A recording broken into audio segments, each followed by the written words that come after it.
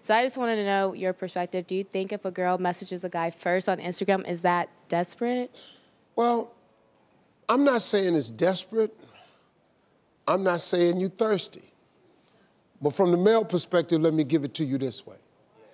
If you DM me, I automatically know you want me.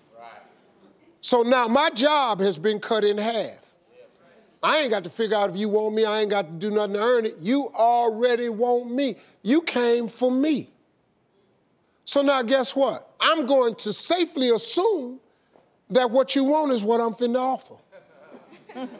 I'm telling you how men think. So you can DM them, and they've had success with the DM, right? Yeah. Some- You doggone right. It's near 100% successful. but